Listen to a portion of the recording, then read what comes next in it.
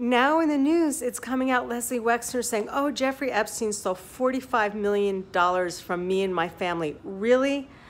Weren't you alerted over two decades ago by me? I called the limited corporate headquarters and I faxed Leslie Wexner and I said, Jeffrey Epstein stole my artwork. I was lured to that house behind the Frick um, by a special services girl Friday.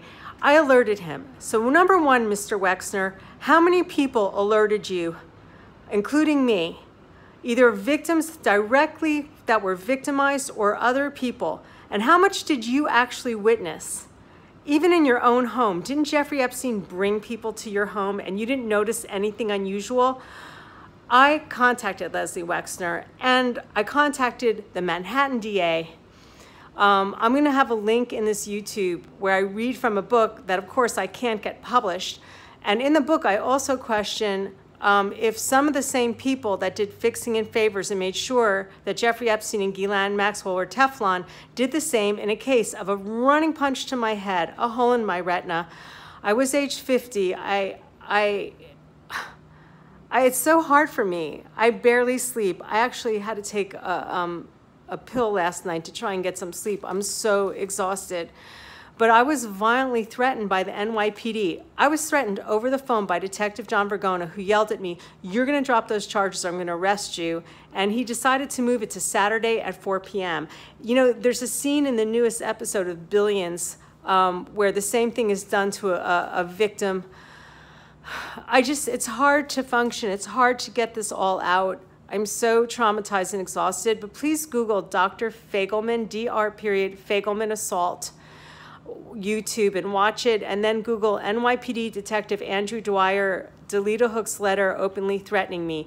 Dr. Fagelman and Delita Hooks came in fairly recently, I'd say it was like six months ago, and committed perjury because like um, the very wealthy and connected in New York are dirty cops that commit perjury. They just think they're Teflon and they're above any accountability. So I wonder about how many police commissioners did fixing and favors and knew about Jeffrey Epstein and Ghislaine Maxwell.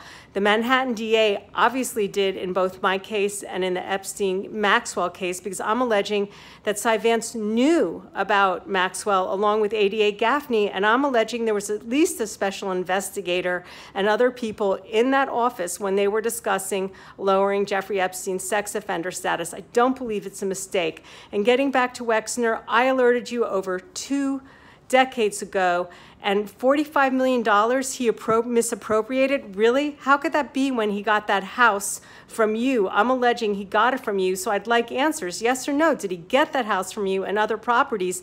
It's like it seems like you gave him more than $45 million.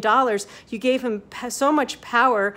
And when I um, tried to get help to get my artwork back, and I contacted a lawyer, Weil Gotshal, and was introduced to Richard Rothman, I found out there's a lawyer representing Jeffrey, and it appeared, it took me time online to find it. No one at Weil Gotshal told me, but online I found a document that appeared to be Jeffrey Epstein being the trustee for Wexner's kids.